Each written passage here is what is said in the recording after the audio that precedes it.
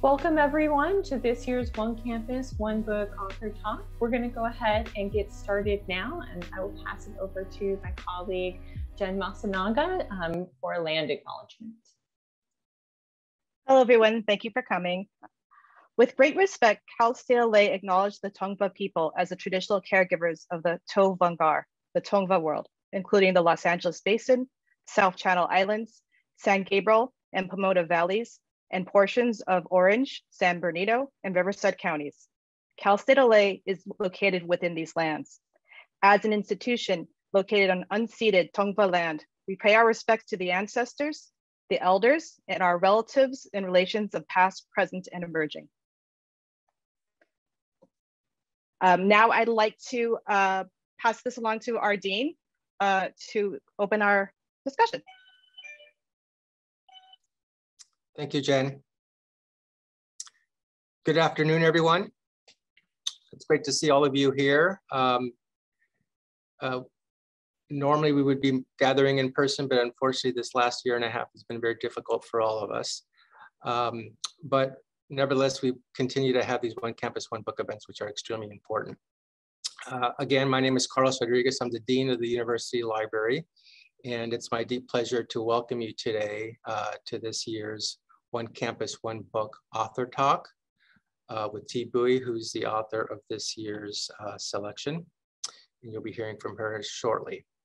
Uh, before we begin, I'd like to thank the One Campus, One Book Planning Committee uh, for organizing this event uh, and also to ensure that we're able to continue this important program uh, during a very difficult and challenging year. the members of the committee include Jen Masunaga, uh, who's a librarian here, uh, Azalea Camacho, who's our archivist special collections librarian, Kendall Faulkner, who's our social sciences librarian, uh, Tiffany uh, Ford Baxter, who's our science librarian, and Kelsey Brown, who is our strategic uh, communication strategist and event coordinator. So thank you to, to all of you for putting this uh, program together and obviously keeping us uh, on track so we're able to continue to do this important event. Uh, the One Campus, One Book program began over 13 years ago. Uh, and one of its goals was to bring the campus community together through a shared reading experience that would foster a sense of community at Cal State LA and also to inspire and to support community conversations around important themes and topics. Uh, over the past 13 years, uh, themes of past selections have included discrimination and institutional racism, street violence, substance abuse, police brutality, ethical issues of race and class in medical research, climate change, mental health, and the immigration experience. This year's One Campus, One Book selection is the second time in the last three years that we have selected an illustrated memoir documenting the immigration experience. And it really demonstrates the power of origin stories in the importance and impact of graphic storytelling. So I'm really very much looking forward to, to hearing from our authors this afternoon and also to hear any questions and the discussions that may follow. So again, welcome uh, to today's event. Uh, it's great being here and I'll turn it back over to Jen who will introduce our author. Thank you very much. Uh, so speaking of questions, we do invite if you have any questions for the author to uh, use the Q&A section at the bottom of your screen to the right to submit a question. And I'll be uh, keeping an eye on that along with my, my wonderful team.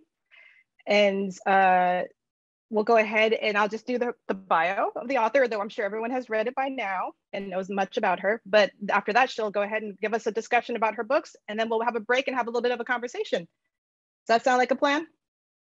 All right.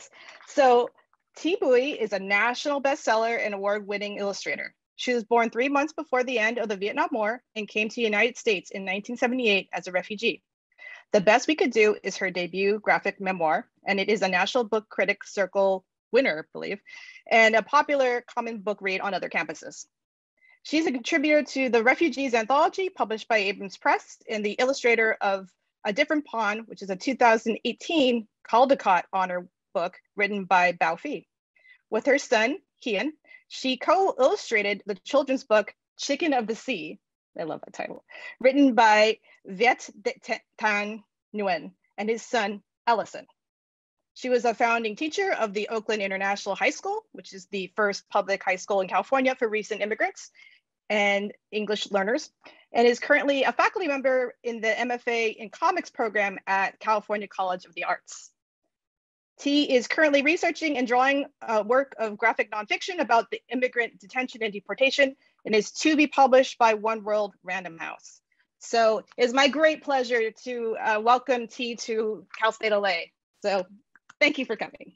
Oh, thank you so much, Jennifer, um, Dean Rodriguez, everyone, um, everyone here who um, has done all of the behind the scenes work to bring me here.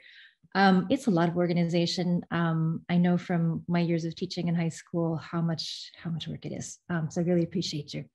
Um, and I really appreciate um, all of the students, um, well, the faculty for bringing my book into your classrooms. I apologize to all of you students for being required reading. I hope that it did not take away from your pleasure in reading because I tried really hard to make it fun to read, even though it's about tough stuff. Uh, let's see. Um, I'm really excited that uh, graphic novels, comics, the, the medium that I call comics, um, are experiencing this kind of like glow up these days. Um, I still think that we have kind of a lowbrow reputation, which I love because it lets us create Trojan horses that um, get you reading history of you know past centuries and um, lives of people who you might not normally read about, um, issues. Um, and we sneak it all into a thing that takes you an hour or two to read. So it feels like fun. Um, it took me 10 years, but that's okay. Um, I like to tell people that uh, cartoonists are the floor tile layers of the literary world. Um, if we do our work well, then you can just glide right over it, uh, no issues in an hour or two and be done. Um, but if we don't do our work well, you trip on it. Um, so hopefully there weren't too many places in my book that you tripped over. Um, if there were, it wouldn't surprise me because it was my very first comic book that I made. Um, if there are any uh, aspiring cartoonists or writers um, in the audience, I'd love to hear from you and I love answering questions about how one gets started. Um, and all of the mistakes I made that I can warn you about so you don't make them too. Um, but we are also here to talk about themes and um, issues. So let me try to take a step back and get myself back into the headspace also of talking about this book that a different version of me made. Um, I'm going to share my screen here and use some pictures to help me talk because I think in words and pictures. So um, a little bit of show and tell. Uh, the best we could do is getting uh, translated and published in a few different countries, which is really exciting. Um, this is a, a, sneak peek at the Taiwanese version um, that is like getting proofed right now. And this is a copy of the inside cover from the mainland China uh, version. This blows my mind that um, the book is like out there having a, a whole other life that I don't know everything about. It's kind of like having a grown child. But going back to the beginning of this book, uh, when it was just a project that no one was paying me for, and that only really I was interested in, um, this is a note that I wrote to myself, sort of my thesis uh, that I was stating out loud to myself so that I would um, be able to hold it uh, over the years that it took to make it. Um, it was important for me to know what it was that I was seeking. And I wrote to myself when my baby, when my son, who is now almost 16, was still a baby. I wrote that I hold my baby close and write with confidence that some things are good to forget, like childbirth, and some things should not be forgotten, like history. And I collect my family's stories not because we are special or different, but because they are necessary for me to piece together, to remember the reasons why we left Vietnam, why there was so much bloodshed, and why no Vietnam War movie have, I've ever seen has answered my questions. Um, because I was a graduate student in my 20s when I started this process, I was um, at a time in my life where I was figuring out my own identity, right, as an individual. Um, and I was looking for reflections of myself in the culture around me, and I wasn't finding great representations. And that gave me this space. Um, so the process involved a lot of like articulating what I was not, who I was not, because I had so many things to react against. And that can be a difficult process. It can fill you with anger. Um, and it can give you sort of a strange image of yourself when you define yourself by what you are not. But um, when I decided to make a book about my family, it gave me an opportunity to finally state who I was. And that was scary in its own way because um, you have to make choices about how to represent people and you have to take risks and you may make mistakes.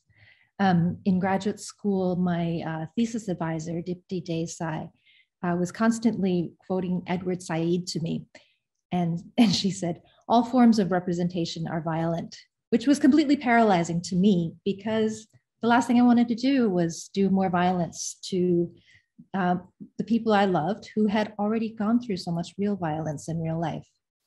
Um, and it was actually the act of having a baby, becoming a parent, like physically having a baby, like there's no going back. Like that baby, you can't give it back. It's it's got to come out.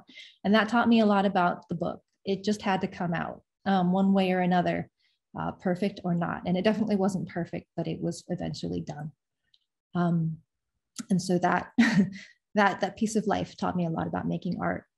And and then I had my my picture of who I was. And I, I think of it now not at all as a masterpiece or anything. Actually, I look at a lot of the pages and I cringe.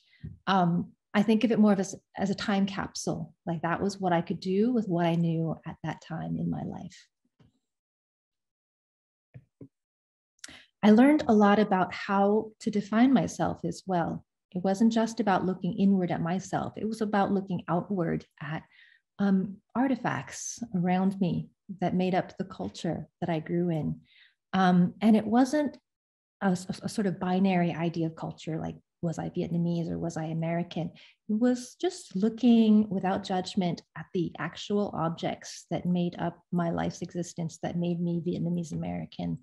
And these are actually um, artifacts from Bao Phi's life uh, that I put into the end papers of a different pond. I asked him, because um, he's exactly the same age as me. He's also Vietnamese American. Family came over as refugees um, the same year, no, actually three years before mine. Um, but he grew up in the Midwest in Minnesota. So I asked him, like, what were the objects that he remembered from his childhood that were very specific? And he he he he he, he dragged these memories out of his mind, out of his memory. Um, things, certain things in common, like uh, ma, his mom mixing nuoc mam, like you know the the dipping sauce made of fish sauce, in an old mayonnaise jar or um, sticking incense sticks in a bowl of uncooked rice, um, his toys, uh, and then like really specifically American Midwest things like tater tot hot dish, which I had to Google. Um, but all of these things are, are, are what make up who we are and our culture, actually. Um, and then since we're dealing with memory, I also had to um, look at myself with some compassion. You know, I have all of these memories um, that I lived, and so the past and and the present get mixed up a bit. But when you have to draw the past, you have to very specifically draw yourself at, at specific ages, and you realize how little you were when certain things happened. Um, that was actually a very healing process for me um, to learn to have compassion for myself and actually for other people too because i drew my parents um, and my sisters as and my, my brother all as small children. Um, and i got to say what i learned from that process is if, is if you're ever mad at anybody uh, draw them as a child and it will be a whole lot easier to forgive them. Um, and then i learned about the value of a good cry. There were days when I worked on the book that I cried more than I wrote or drew. And that was just part of the process because uh, there are things that you bury uh, in order to function in life. And um, writing about them is a process of pulling them back up and sometimes reliving the feelings that you've put away. Um, but there's really no other way to do it if you're going to look at it honestly. Um, I don't recommend it for everybody, but if you do do this um, with your own experiences or other people's painful memories, just know that there are some days that it'll just be really hard. Okay, um, someone asked me recently, is there a question that you've always wanted to be asked and no one's ever asked you? And I thought about it and I said, yes. You know, no one's ever asked me about the bio that's in the hardcover version of my book that talks about making mixtapes from um, records when I was a kid and listening to Paul Simon and, uh, the Beatles when I was little. Um, and this goes back to what I was talking about with like culture. Like culture is not easily like divided into one culture or another. Like culture is very mixed up. Um, my cultural influences are from everywhere. Um, and has my writing been influenced by Paul Simon lyrics? Yes, it has. There is a page somewhere, you'll find it, um, that directly references this lyric from Graceland about uh, a window in your heart. There's um, a there's a very kitschy wooden clock that's in the shape of Vietnam that I swear every Vietnamese family in the diaspora has or has has owned at some point in their experience. And uh, we had it. I spent many hours staring at it and just imagining a hole in my heart, the shape of Vietnam. And that I think came from these lyrics by Paul Simon. Okay, I'm going to take a sip of water and then I'm going to uh, read you a selection from the book to get us all in the mood to talk about it.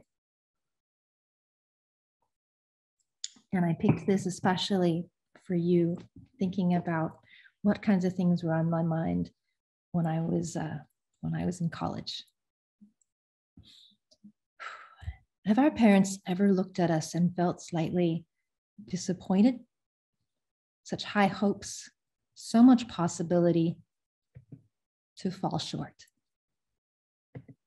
And though my parents took us far away from the site of their grief, certain shadows stretched far, casting a gray stillness over our, over our childhood, hinting at a darkness we did not understand but could always feel. These are the people I come from. Ma, Bo, Lan, Bik, Thi, Thum. I have figured out more or less how to raise my little family but it's being both a parent and a child without acting like a child that eludes me. My parents escaped Vietnam on a boat so their children could grow up in freedom. You'd think I could be more grateful. I am now older than my parents were when they made that incredible journey, but I fear that around them, I will always be a child, and they a symbol to me two sides of a chasm full of meaning and resentment. Travis and I moved to California in 2006 to raise our son near family, trading the life we had built and loved in New York for a notion I had in my head of becoming closer to my parents as an adult. I don't know exactly what that looks like, but I recognize what it is not. And now I understand proximity and closeness are not the same. How did we get to such a lonely place? We live so close to each other and yet feel so far apart. I keep looking toward the past, seeking an origin story, tracing our journey in reverse over the ocean, through the war, seeking that origin story that will set everything right.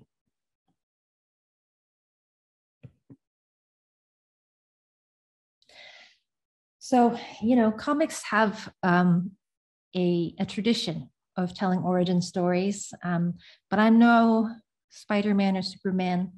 Um, I just come from human parents and um, they do human parent things like take walks and give me things I don't need, and um, you know, ask me uh, questions about things I don't want to talk about.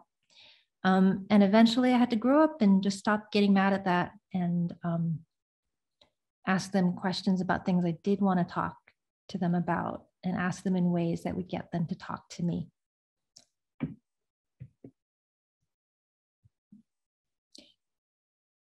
These pictures mean a lot to me um, but I realize that they're not, they don't hold the same weight for everybody. Um, these folks who look like this have not necessarily been on the covers of books and um, movie posters and that kind of thing. So I realized that when I look at these, all of the love that comes with knowing what their lives are like and and and habits and quirks and things those things are lost on a mainstream audience. And so I had to do something about that to subvert that weird gaze. We'll call it the weird gaze that um, folks have inherited from decades of bad Vietnam War movies and other uh, forms of misrepresentation of, of Vietnamese in the diaspora. So this notion of drawing them instead of showing photographs was really compelling because one, it was the cheapest way to make my own movie. And two, um, there is something different about a drawn picture. Maybe we're just so media saturated. Maybe like a photograph doesn't hold the same magic anymore because, you know, you can take a million photographs and then they're just throwaways. Um, you can alter photographs. But drawings are intimate and they're still kind of strange enough where maybe they get us to see people um, in a different light. That was my hope anyway. And it was my deliberate intent to save the, the only photographs that I use in the book to almost the very end of the book. Um, because I wanted you to be able to get to know these people as characters that you could know and love before you ever saw their photos as refugees or boat people. And then here's another thing that I learned about figuring out who you are. The places that you have been and that your ancestors have been become part of you, almost like through osmosis or something. They are really a part of you. Even if you didn't grow up in these places, there's something just intrinsically familiar about them when you get to see them again as an adult. Um, and I don't mean it feels like home because it it often feels very jarring, especially if you don't speak the language well or you just don't know anybody there. Um, but there's something about the shapes and the weather and the land and how things smell and feel and sound that can feel really familiar. It's odd. Um, so I did as much research as I could um, into, you know, the country of my origin. As mythic as it was in my imagination, it was an actual real place, and there was documentation of it. So um, I got my research hat on and found as much of it as possible to do my visual research from. And then I also have incredible living witnesses of history who are my siblings as well as my parents. Um, I had to make a decision in the book to have only so many main characters. So I decided to focus on my parents, but my older sisters and my younger brother were um, very valuable in providing perspectives and memories that I don't possess myself that helped me piece together the story. Um, and it, it was important to talk to them as well as my parents because the impressions of a child of one experience are pretty different from an adult's impressions of the same experience. They're different memories entirely. And then finally, um, the last piece was putting together the people and the environments in which they lived. And this was a very um, groundbreaking drawing for me to do personally because it was taking a step back, like a bird's eye view or drone's eye view of the stage upon which the human drama of my childhood played out. Um, and to be able to look at it from this angle really did a lot for me in terms of like getting myself out of that out of the pain and the scariness of the, the experience and just being able to look at it from, from above, uh, with some some distance and some objectivity and compassion for all of the players in the drama. Um, some of the writing process did involve putting myself back into the feelings that I had wanted to put away.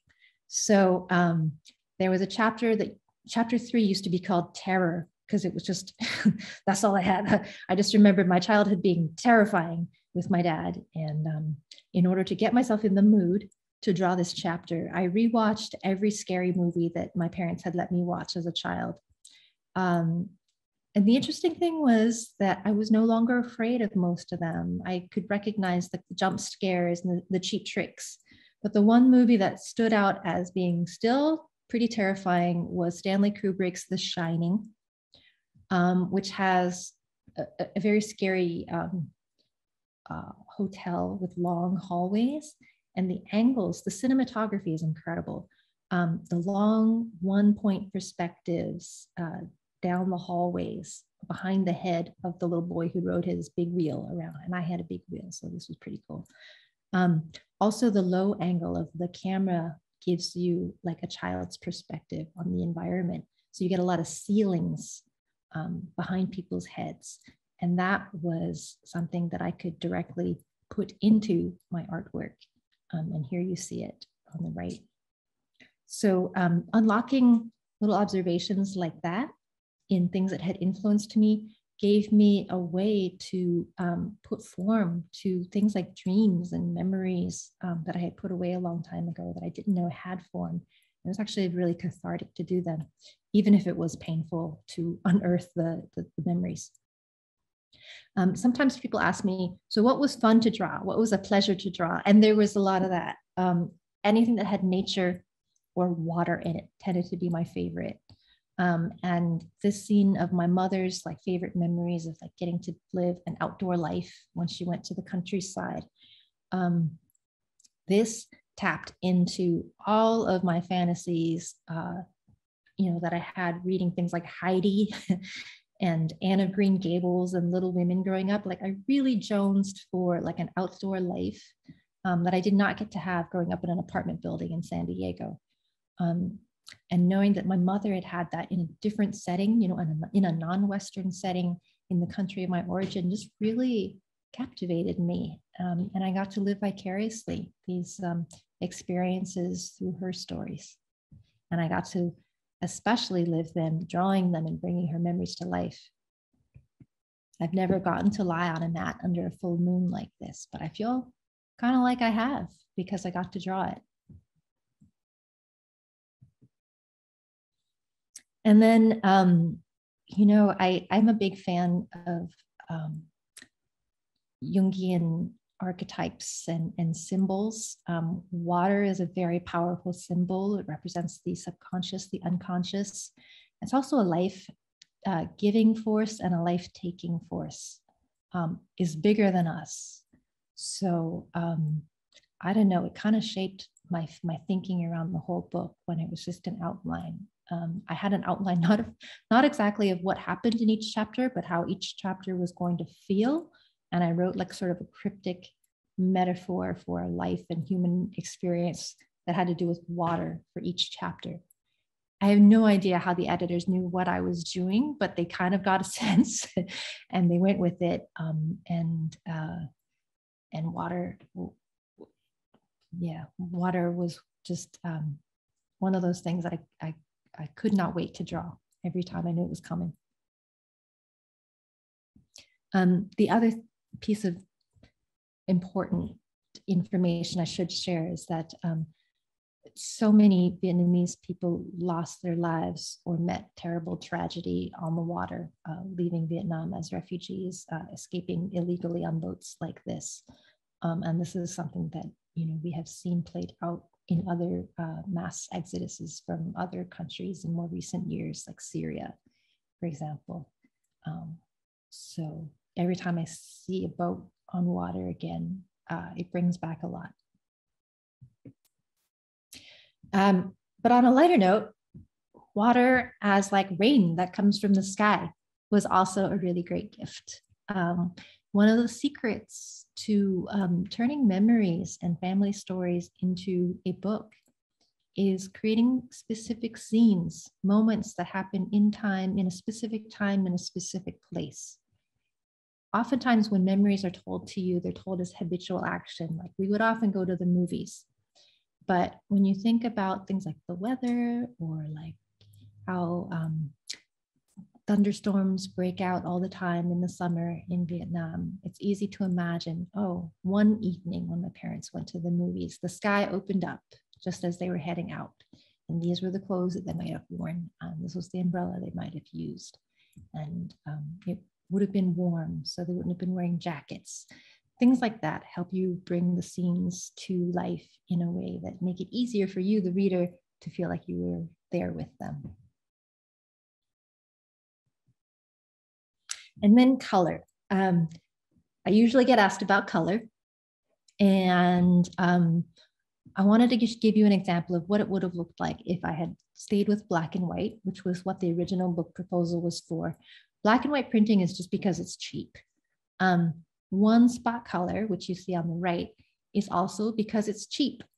And it's not because like this particular shade of orange was on sale or anything. It's that in, in offset printing, um, they will print like all of the black in one shot and then all of the spot color in one shot. Actually, I think they, they print the, the spot color first in one run and then they run all the pages again and print black art on top. So um, it's a pretty cheap process, inexpensive, um, but adding that one color allows you like just this whole emotional range that you wouldn't have otherwise, right? And when you learn to play with your tools a bit, you realize that when you layer your black uh, and you have like a range of black, then you've got grays. And if you layer your grays with your spot color, then you get a third color. Um, and there's actually a ton you can do within those constraints. And this is just the raw artwork, like ink, uh, ink lines on Bristol paper. Um, I am a sort of wannabe oral historian. I, I, I, I did a lot of uh, reading of oral histories and a lot of um, research into how to conduct oral histories in the proper way. Um, and I try to remain faithful. Uh, however, as an artist who thinks about representation of the material for mass consumption, um, I break some rules like I do have a lot of composite interviews where I string several interviews into one, what seems like one conversation on the page. Um, and I mess with time. Like this page could not literally happen in real life, but it's um, me using this medium to show you different ways of approaching one subject as an interviewer. So for me, a lot of getting my parents to talk to me about um, their lives was learning to not ask them questions only as their child, because those questions would tend to be me centric, like where, you know, what were you doing when I was five years old?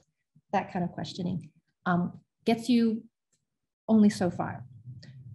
For me, learning to see my father as a young boy um, gave me a whole other set of questions to ask him to be able to relate to him and then to be able to see the young boy in the old man um, allowed me to step back from my role as his daughter and to speak to him as an adult to another adult with compassion and understanding for the things that he had gone through that made him who he was, um, good and bad. And then finally, um, I keep saying finally, uh, I should just keep saying, and then, and then I also figured out visually um, juxtaposition works really great when you're talking about trauma. It's one thing I've learned about trauma from talking to therapists is the, the trouble with trauma, the reason why it stays with you is because the past and the present get all mixed up. Like things that happened, bad things that happened to you in the past keep feeling like they still are happening to you now. Um, so for me, the perfect way to represent trauma without ever having to say the word was just to put the past and the present right next to each other, juxtaposed like this, and let you do the work. And it wasn't, it wasn't much work. Um, and then by the same measure, that same visual device allowed me to juxtapose my A story and my B story in my in my narrative. My A story being the family history and the B story being the larger global history that was happening at the same time. So, you know, it, it never occurred to me before working on this project that the US is, you know, the US dropping atomic bombs on Japan had anything to do with my own family history. But as I was doing all of my um, historical research outside of talking to my parents, I realized that the dates, you know, all line up. And then doing more research into like the um, the emergence of the Viet Minh as um, independence fighters in Vietnam and how they took advantage of the power vacuum that was created uh, because Japan had been occupying Vietnam and then suddenly they were like toppled. That created a power vacuum that allowed the Viet Minh to come to power.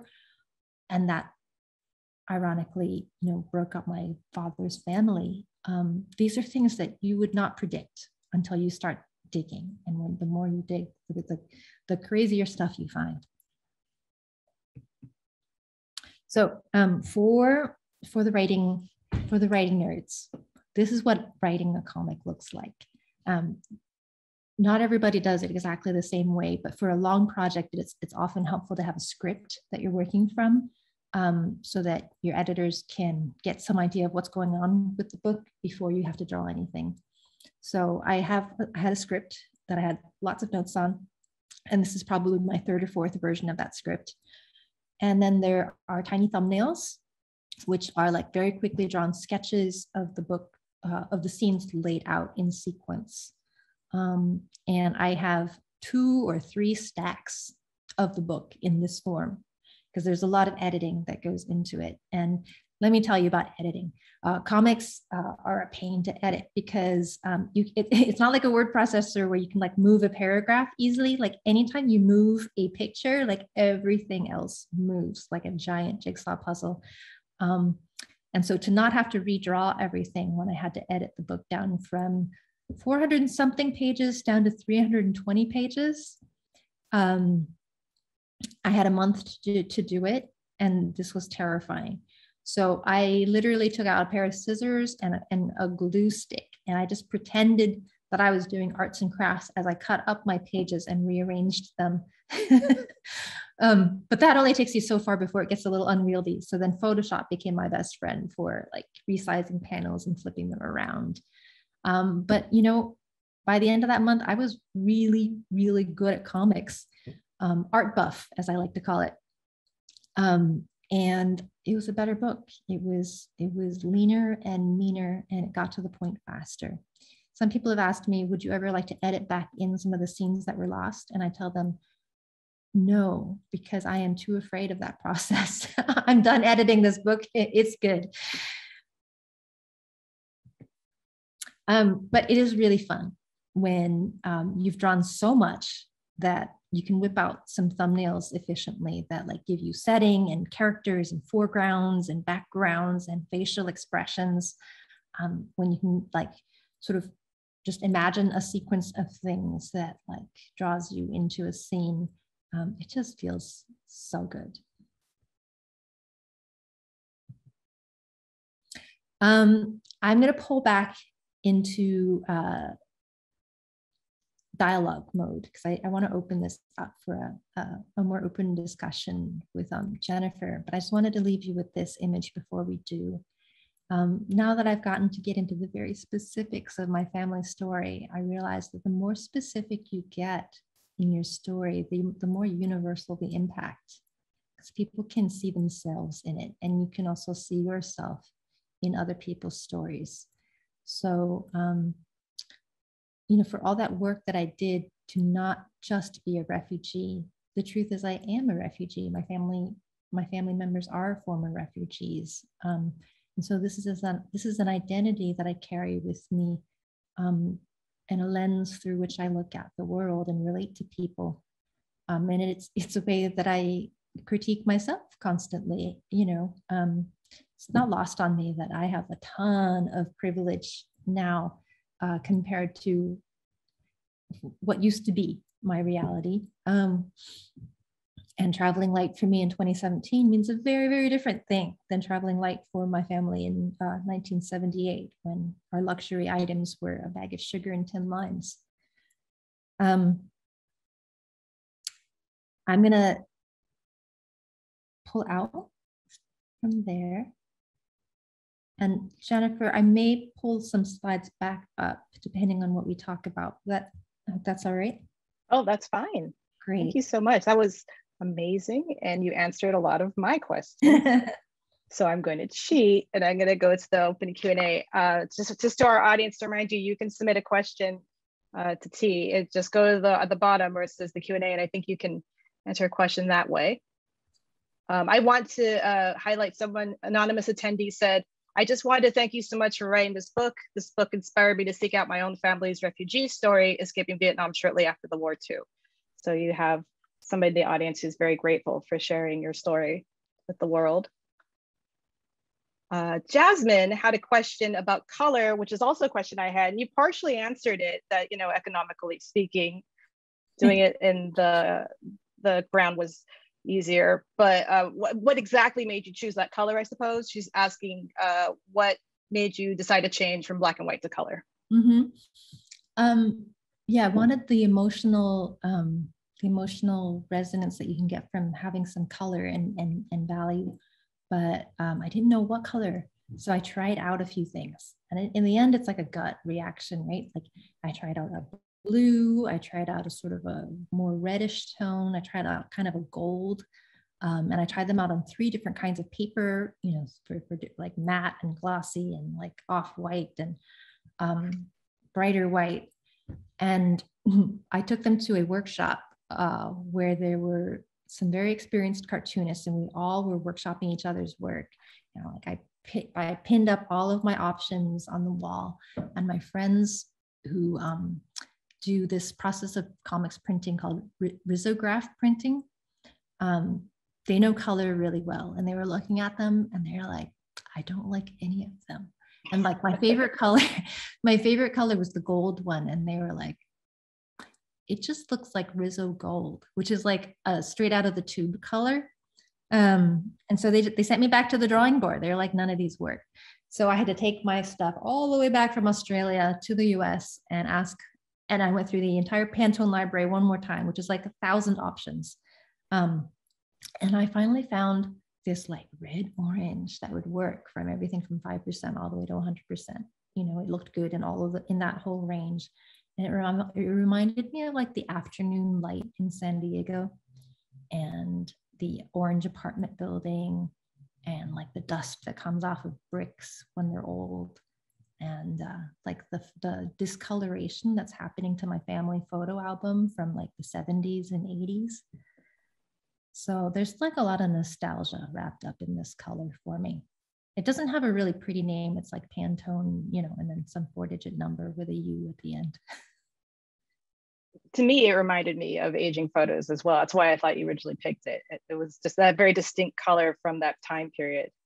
Um, yeah. Mentioned. Yeah, it's funny how we just have such um, like emotions attached to these like, you know, colors that have really plain names, completely emotionless. In the end, it is it's just a gut, a gut feeling that you have with color. And I have a question, did they let you pick the paper that the book was printed or were you severely limited in what was it was gonna run on? Um, no, they let me pick the paper too. Yeah, no, Abrams is, Abrams is like very serious about making beautiful objects. Um, so, and I worked with an amazing book designer named Pamela, Pamela Notarantonio. The, the nerdy, the level of nerdiness in our emails to each other is pretty high. Like she she had this very long email in which she rejected my suggestions for fonts and she like talked about like how one was cold and one had no business being in this book it was like it was at a level that i didn't understand about typography but yeah that, that was the level of attention to production what ultimately made you choose this paper then Um, it, it needed to be matte.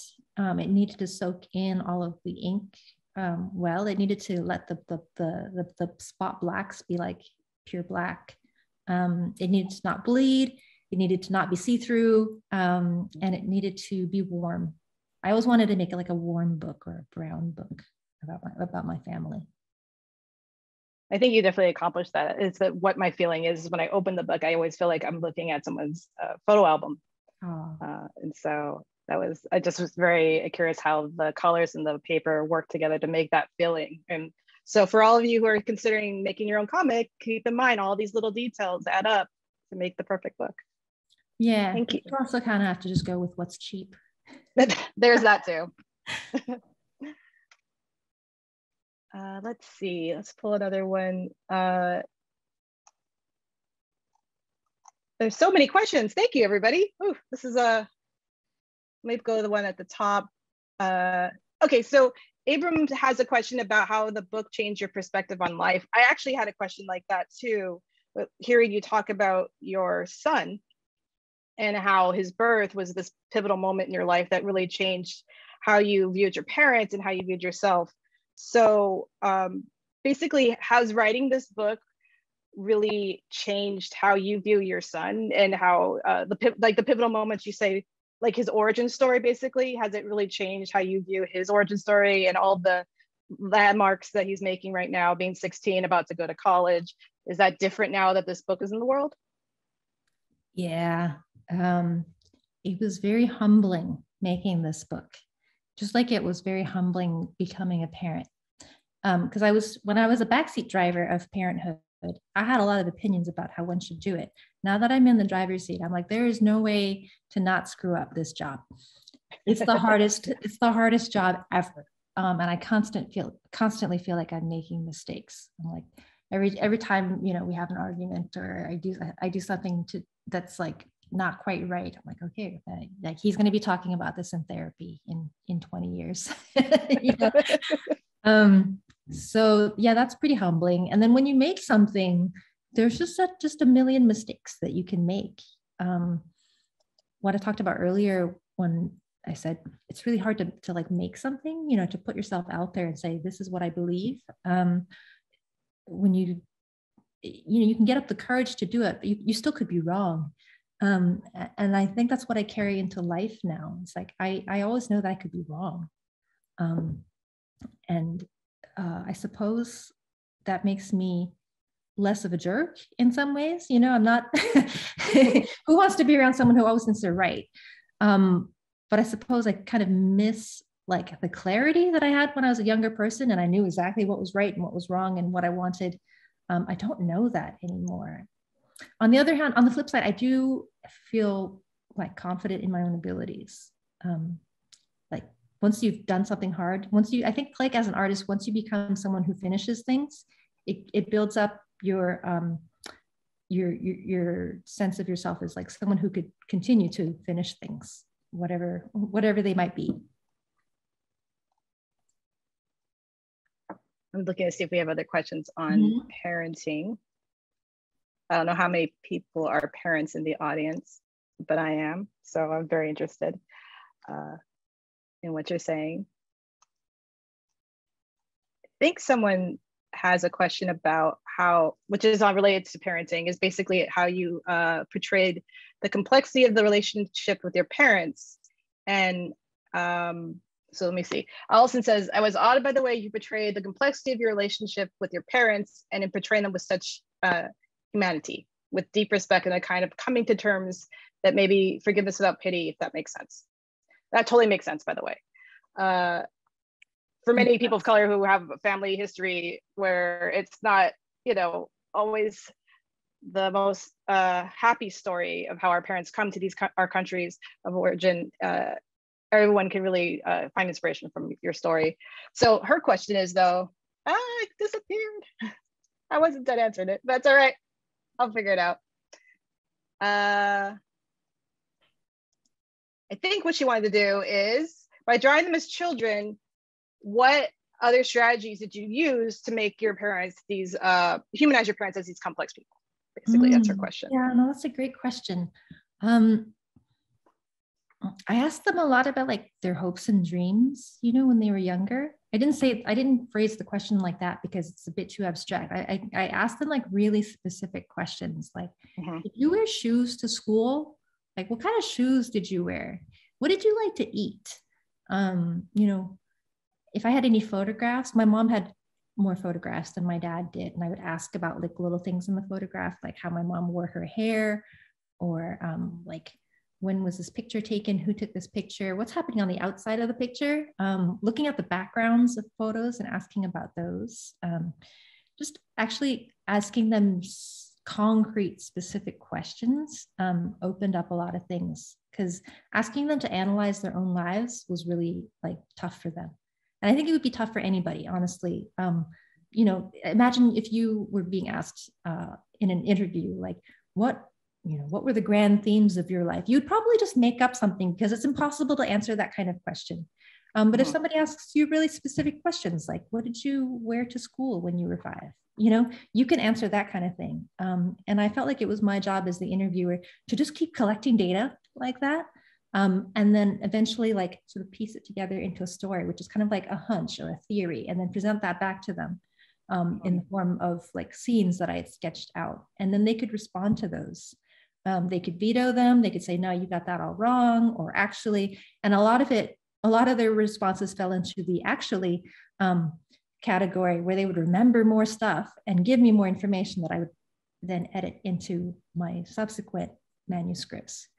Um, so it was a back and forth process. It was a collaboration um, that was respectful of like them as like co-creators of these memories. Um, so it wasn't like it wasn't just a one it was never just a one shot. Like they always had multiple passes at any kind of memory that i was i was drawing. Um, and i think that that was probably the most important thing that i did to respect them and their voice. I'm interested in how you talked about some of the more traumatic moments uh, with your parents and how you approach something that is very that you know going in is going to be quite the difficult conversation and if you have mm-hmm. any advice for students who may want to have similar tough questions with their parents and how they should approach their parents with these things. Whew, yeah. Um, our, uh, if you have parents who don't want to talk about themselves, it's um, a trick. a trick that sometimes works is talking about an artifact like a photograph or or a map or something. So they're talking, or, or or my book, for example. You can just have them pretend to be talking about my book and then like sneakily turn it into questions about them. Um, you can um, just keep coming back to it lightly and not try to get it all in one shot. Um, like if you see somebody starting to get just overwhelmed by their memories and their feelings, you can just back off and then come back to it another time. Um, and sometimes talking while doing something helps, like talking while cooking a meal together or talking while t- talking while taking a walk is one of my favorite things. Um, let's see, just changing maybe the, the, the, the nature of your questions, but not the spirit of your questions, you know, like just maybe like coming at it, coming at the same topic, just from a different angle and asking about something slightly different sometimes helps unlock the, the hard stuff. Excellent. That's a really good answer. I'm checking out the other questions. Let's see.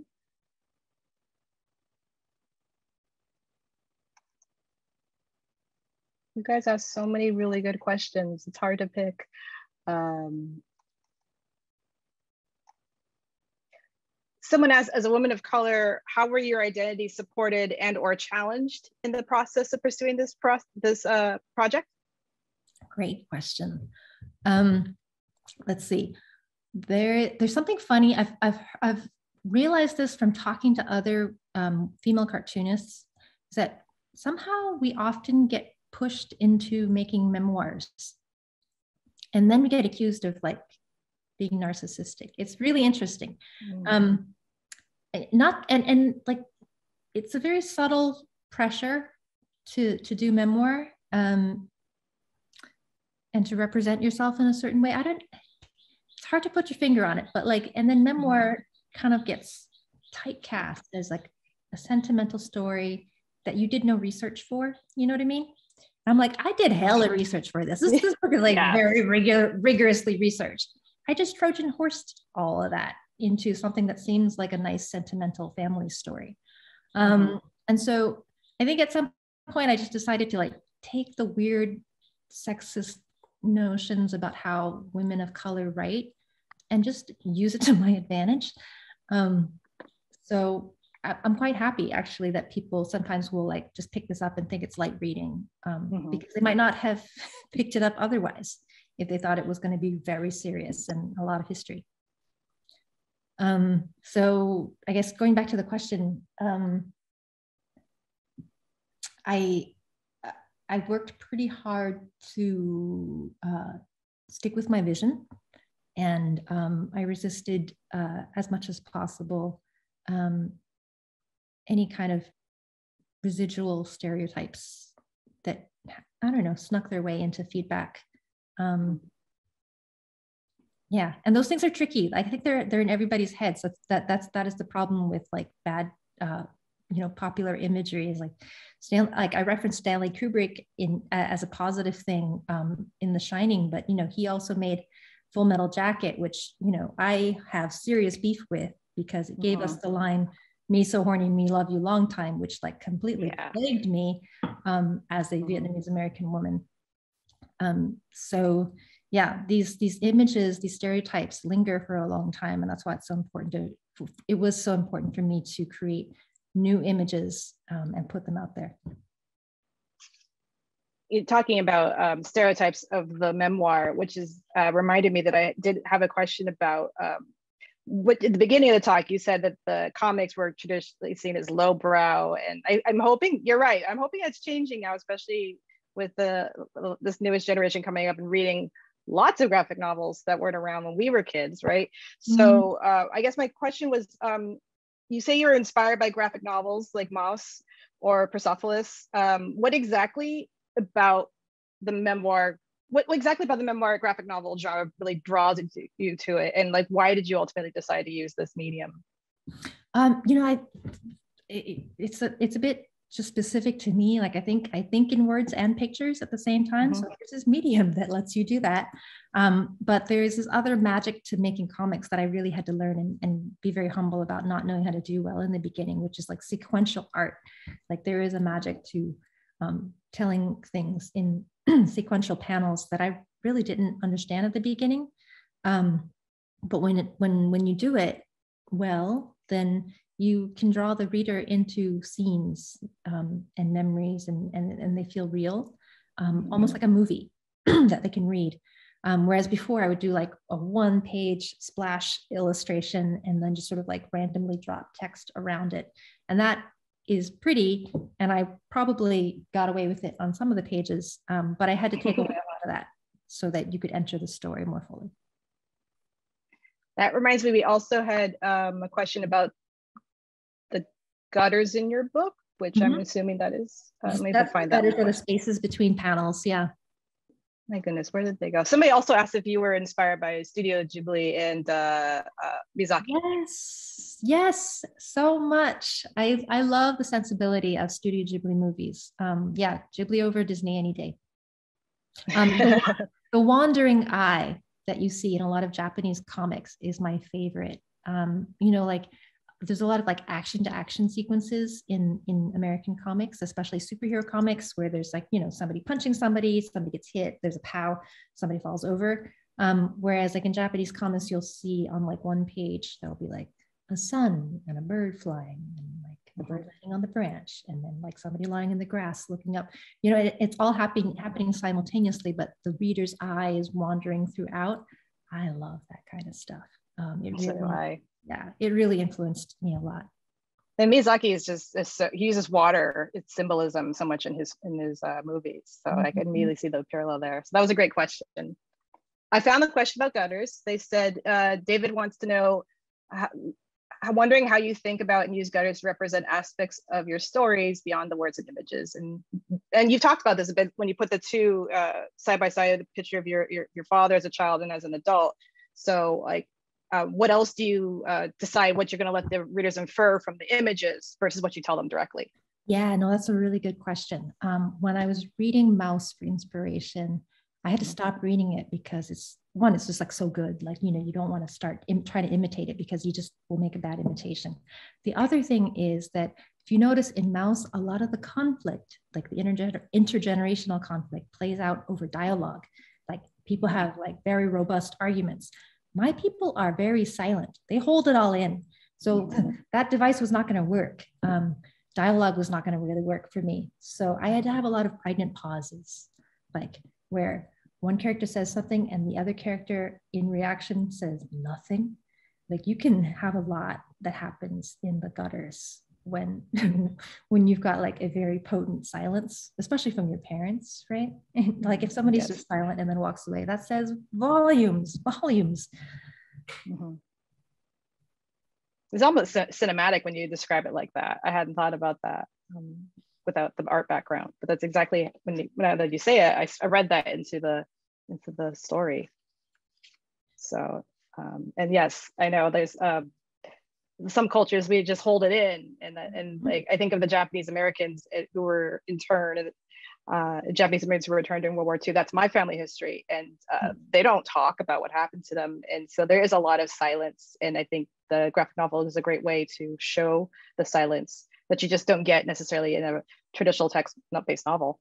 Yeah. And the silence doesn't mean that there's nothing there. There's a lot there. And you have to mm-hmm. learn to read it. Exactly. Uh, okay, let me look at some more questions. Um, I think maybe you could see these questions as well if there's one you wanted to pull out. It's under the Q and A at the oh, bottom. Okay, there it is. Might be easier because you know try to juggle. Yeah, yeah, yeah. Masters of ceremonies and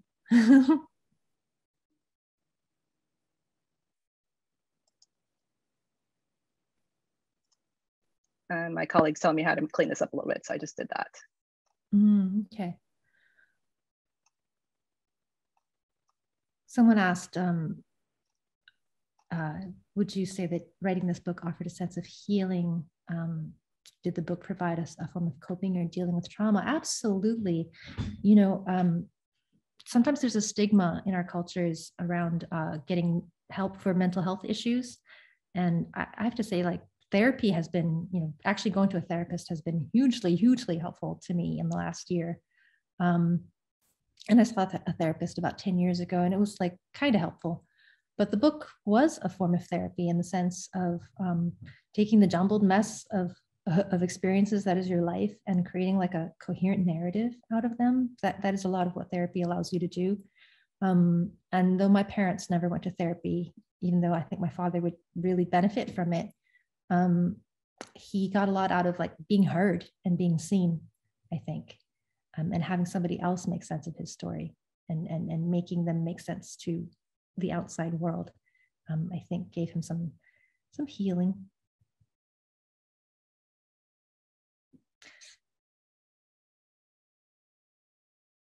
Uh, I think it, I think about this year being, uh, and I guess it's been now going on two years, as being a very traumatic time, especially for our children, and mm-hmm. thinking about how are they going to tell the story about the pandemic uh, right. in years to come.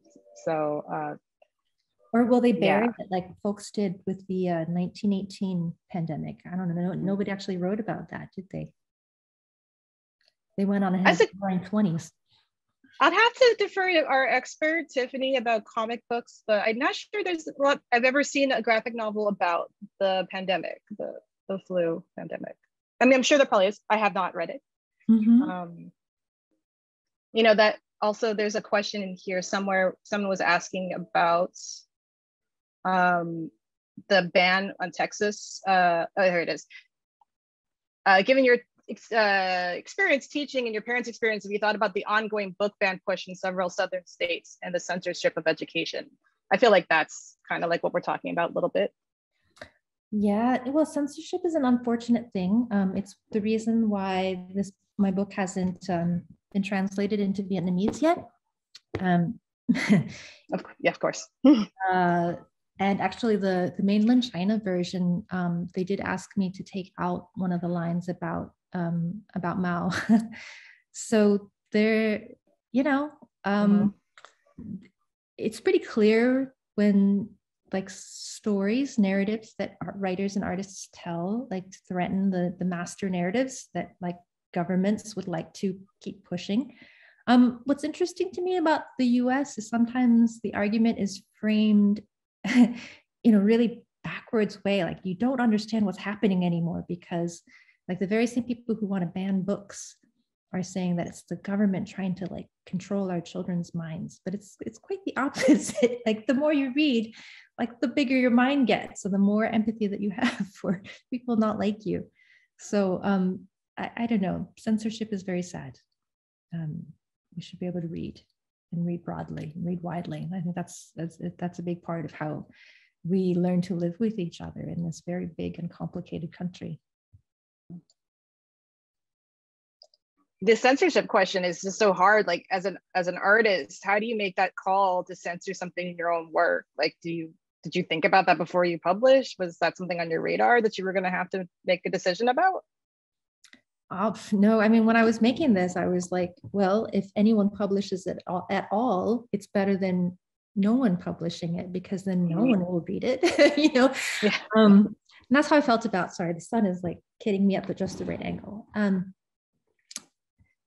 so yeah when i had the decision to make about do i do i um, you know not let it be published in mainland china because they want to take out this one line or do i just you know let this book get out there and then maybe someone will find the original version and conversations can still be had i went for that that possibility mm-hmm. instead and the book can be found in english in vietnam and hopefully I'll find a way to get a Vietnamese version created. Maybe it'll have to happen in the US for the diaspora, and then that's how it'll enter Vietnam. Mm-hmm. I do know that for things for film, there are people who are like fan translators who get that out through you know the internet. And I was just right. imagining someone doing that for your book. Um, I I would want it to be official, of course, but I'm wondering if that would happen. Yeah, um, yeah. Bad translations can be really funny. Um, that's, true. that's true. I would want it to be translated well. Um, yeah, someone did ask about film and TV, and I just wanted to say um, mm-hmm. I have had a lot of interest, um, but I am just still so scared of Hollywood making another bad Vietnam War movie with my family story, and that would just kill me. Mm. So I've, I've, said no to everybody uh, for now, um, while I wait for uh, Asian Americans to get stronger in Hollywood. And I'm working on a, a, a TV project right now that's not about my family's story. And I'm hoping that this experience will give just me, give maybe a little bit more experience and understanding and clout in that industry.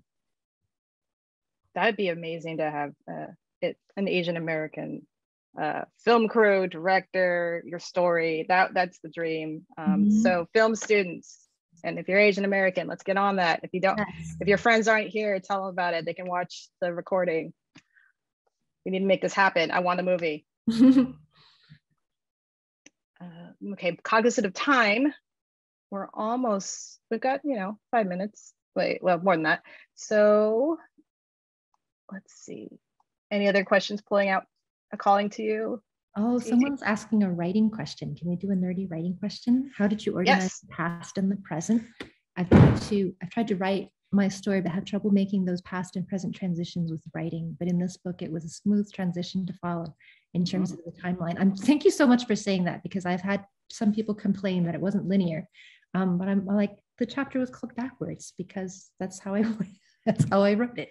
Um, yeah, no, for me, uh, like unearthing the past was like a process of like peeling an onion right so it made sense for me to go from like the moment of my epiphany like like where i like stepped into a, a, place of empathy, like becoming a parent. That's why I started the book there. And then I just went backwards through the births.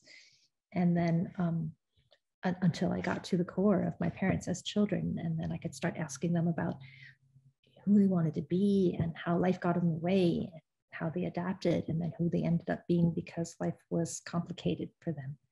Um, so who knows how one organizes a book it's a painful process but you look for the structure and you look at other books books you, you look at structure in other books and films and um, i actually got like the idea for the sort of the emotional arc of the book from watching a studio ghibli movie called up from up on poppy hill um, completely unrelated storyline but there's like if you look for like where the emotional climax is it's not exactly like narratively um, like a three act play or anything. It's just Mhm. that it feels like it is at one at this one particular moment, and that's why I put the boat escape where it is, um, so that you would have that feeling of a, a- a familiar feeling of a climax without the story needing to follow a, stereotypical like immigrant story where the family gets to America and everything's great after that.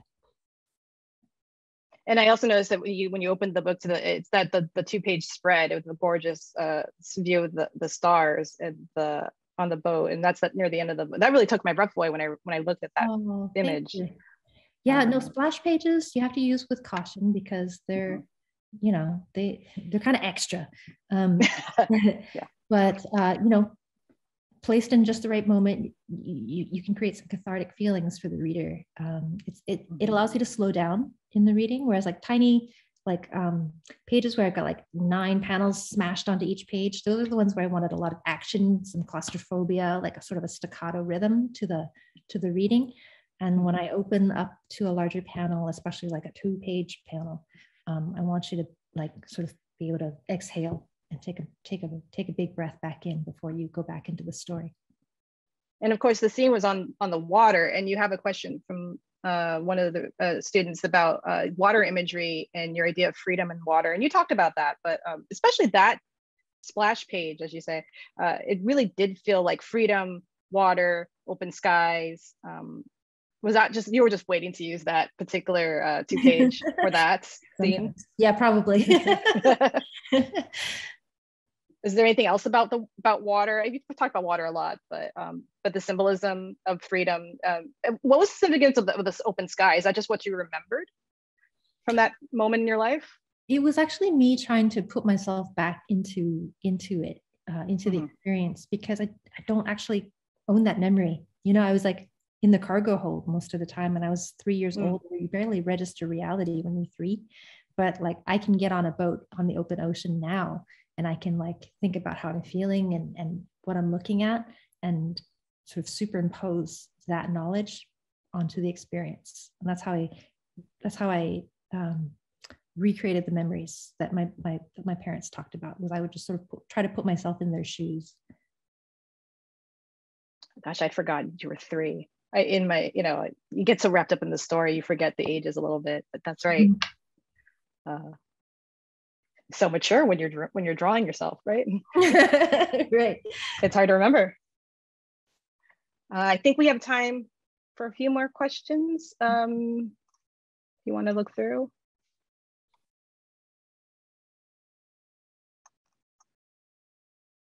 Um, I like this one about the old version of yourself and uh, uh, the old version of yourself that uh, wrote the book and then the version of you now. And I think you talked a little bit about that, but is there anything you wanted to elaborate on this new version? Yeah, yeah. Actually, if I could share my screen really quickly. Um, Sure. there is a there's an epiphany that I had about um, you know the high cost that comes to other people when folks like me get the spotlight. Um, so much of my my my narrative fits into a sort of a model minority myth and, and uh, the exceptional refugee story. Um, and I really try to resist that now because there are lots of folks who came uh, under similar circumstances who, who really don't get celebrated. Um, instead, they're languishing in prisons and immigrant detention. And so I'm trying to write about them now. Mhm. Um, so I guess like I- I understand, you know, there's, there's this great TED talk by Chimamanda Ngozi Adichie about the single story, the danger of a single story. And so I, I am trying to push against the, the model minority myth and the exceptional refugee myth as a, a dangerous single story that I really don't want to participate in. Um, and so I'm trying to shift the focus instead to humanize folks who are in the shadows uh, when folks like me get the, the spotlight. So folks like PJ, um, who survived a school shooting, you know, whose mother survived the Cambodian genocide, for him to survive a school shooting in California and then like 20 years in prison, um, over sentenced for a crime he committed as a minor, but then was like convicted for as a as an adult. And then the irony is that um, he was also transferred to ICE after he finished his prison term to be deported to a country that his mother fled as a refugee. Um, and he wasn't even born in. So there are lots of folks, like thousands and thousands of folks like PJ who are Cambodian, Vietnamese, Lao, Hmong, Southeast Asian, who came, who have like similar um, stories to me, like before immigration, but uh, very, very different stories than me after.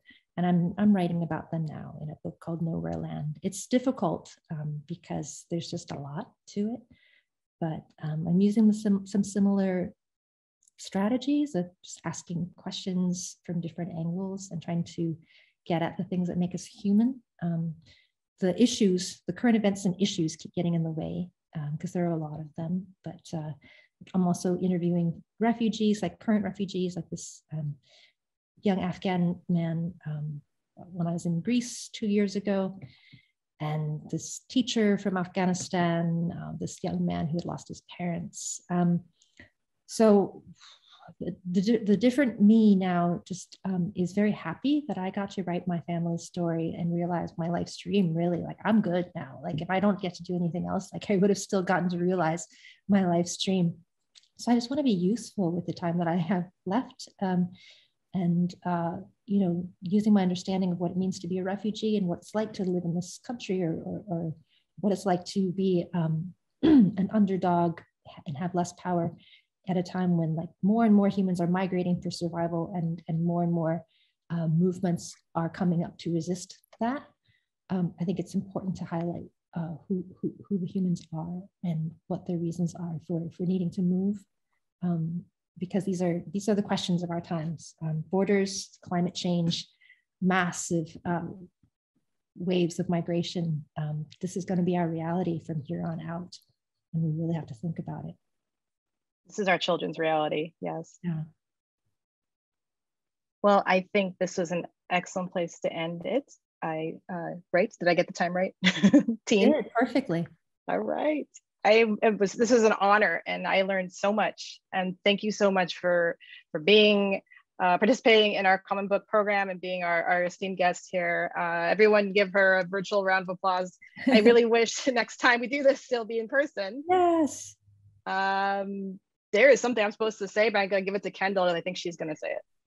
Thank you so much, Thi. I feel so inspired to pick up a pencil right now. Oh, good. Yes, picture that you had where you showed um, drawing just the small objects. You know, it felt like something that I could I could do. You know, mm-hmm. and it's so inspiring to hear you. Um, and I really want to thank everybody who came today um, and to let all of you know to keep an eye out for some emails coming from the library. Um, we're going to give away um, 10 copies, um, 10 more copies of the book with some library swag and Ooh. just a super quick little survey about um, how the event and what you thought about it. So keep your eye out for that. And thank you so much, everybody. This was really wonderful.